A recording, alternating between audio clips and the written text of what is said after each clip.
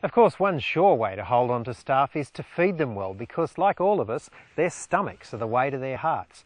Here's a recipe for Asian style beef from TVred, MLA's red meat promotion video that's shown in hundreds of participating butcher shops Australia wide.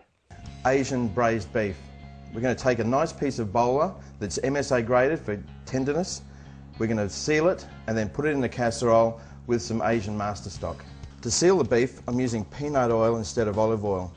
Peanut oil has a neutral flavour.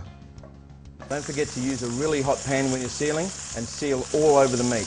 This ensures that the juices are retained inside the meat. What we're looking for when we seal the meat is a really nice brown crust all over. This will enhance the flavour of the meat. Once the beef is sealed all over, we'll put it in a nice little casserole dish. This is more like an Asian slow cooking hot pot if you like. What I've got here is an Asian master stock. I've got some kecap manis, some light soy sauce, ginger, garlic, star anise and some cinnamon quills. It's been simmering for about half an hour just to reduce it and get the flavours in there. We'll just pour that over the beef and then pop it in the oven. I'm just going to pop that in the oven at 160 degrees for around an hour and a half to two hours.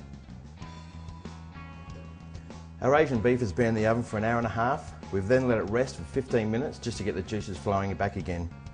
We're going to serve the beef with some Japanese soba noodles and some steamed bok choy.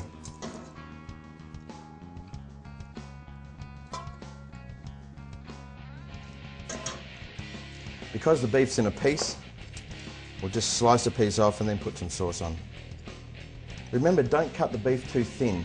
A little bit thicker, it's more juicy and tender when you're eating it. Place that on the noodles and then spoon around some of the sauce that it was cooked in. Just going to garnish this with some coriander leaves and some sliced chilli.